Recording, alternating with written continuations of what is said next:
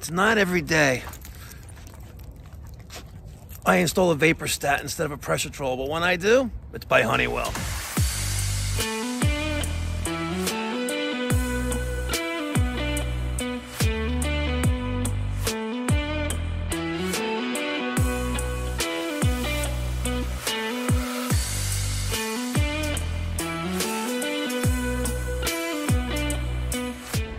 All right, we're heading over to our next service call uh, in um, kind of like near Floral Park, central Nassau County, more, more closer to the Queens border on Long Island in New York.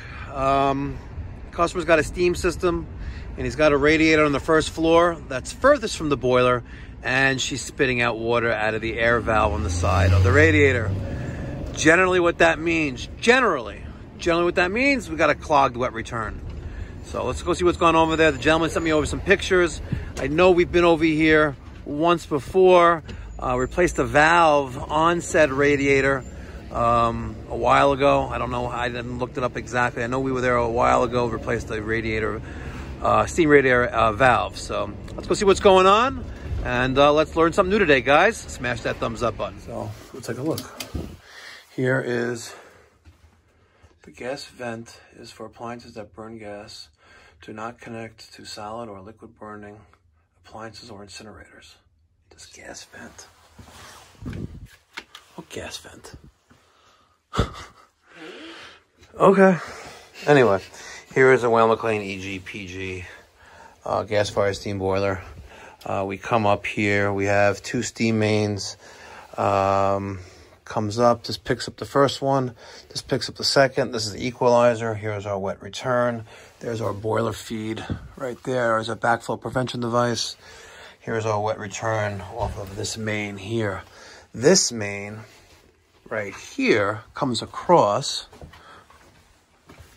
there, keeps shooting across to here, and then we have a radiator right there and a radiator upstairs. This radiator's uh, leaking water every time the boiler's on, and the one upstairs sometimes.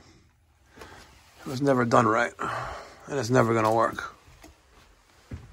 Here's one on the second floor. They tried to use this thermostatic valve. See, there that is. That's not going to work.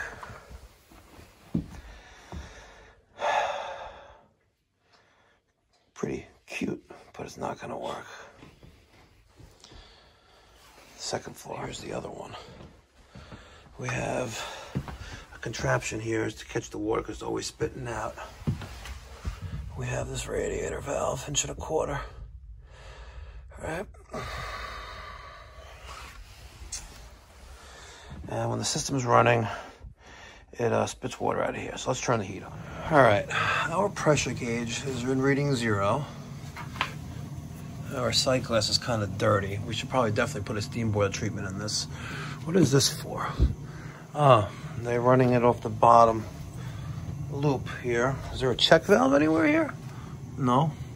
It's an IFC in there, but you need a check valve on this line as well. That's probably why the basement zone doesn't work, but um, popping the relief valve. Yeah, that's that's more than zero psi. So let's kill the power. Let's get this cover off. Let's check that pigtail out. Right, let's disconnect the Phillips screwdriver. And that Pressuretrole is reading all the way down already.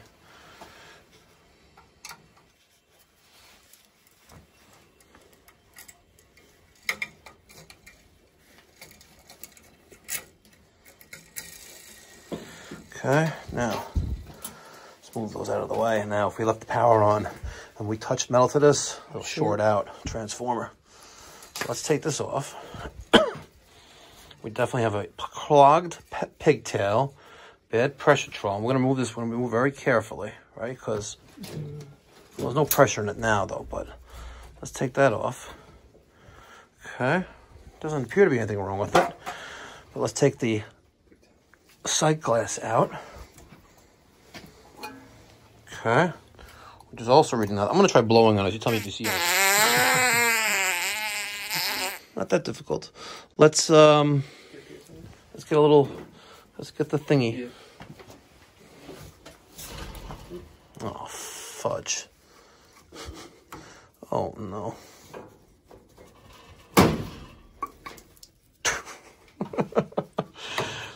oh man, come on. Really? How's this thing secured? It's not really. Let's uh, take this. Where's the screwdriver? Take this. Take this off. Hold on one second. Okay. This switch kills power to there. There's our pigtail removed. Yeah. Shove it at your ass. Someone's gonna hate for me doing that, by the way. They can kiss my ass. Now, ready? Just clear. We have a bad Pressuretrole. Yep. Bad Pressuretrole. I went to the truck mm-hmm. and I was going to grab a Pressuretrole. Mm-hmm. But I figured what better way to educate mm-hmm. than to install a Vaporstat. I've heard of those. I don't know if I've ever installed. Yep, a Vaporstat. 100%. So today, to make their steam problems go away, we're installing a Vaporstat. Let's make their steam problems go away. Forget about using a Pressuretrole. We're using a Vaporstat. You want precise control of steam pressure in your residential home? Get a Vaporstat, talk to your plumber, or give us a call 516-348-6300. We're based in Valley Stream. here's the Vaporstat. And as you can see, we have our main, similar to a regular Pressuretrole, right? Mm-hmm. And if you notice, our PSI starts at zero and it goes to 5 And our differential is subtractive, right? So if it's set for one, right now, look at that, ounces.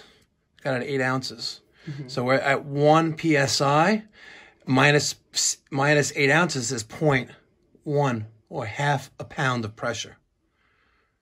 That's where Dan Holohan sets to set your steam boilers. Half a pound of pressure is all you need. You got more pressure like what's coming out of here before? No mm-hmm. bueno. So that's why we're putting in the Vaporstat. Our Vaporstat is installed. We're not going to be a schmuck like the last guy. We're going to put this down there. That way, for future, we can remove the pigtail without having to disturb the electric. I think these might be too tiny. These Let's are try. a quarter inch. Send it. There you go. Good. And then we'll uh, restore power. Should I put a little level on this? Yeah, I knew we were flying the wrong way. See how we're flying? All right. Give it a little more pitch right there. No pitch. See? Perfectly level. So there's our new Vaporstat.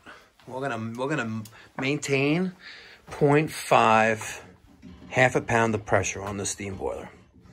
And after we insulate these lines, mwah, oh, it's gonna be tits. I tell you, it's gonna be tits. And let me tell you something what really pisses me off, right? See this? What does that say? Peter, you're a smart man. What does that say? Right? This is pipe doctor. Does that say pipe doctor? No. No.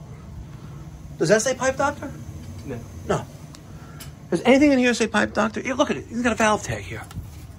Does any of this anything here? And and the valves are stamped. Is anything in here pipe doctor? I should give Mike, Mike a demotion or an unpaid suspension. He gets paid to do his job.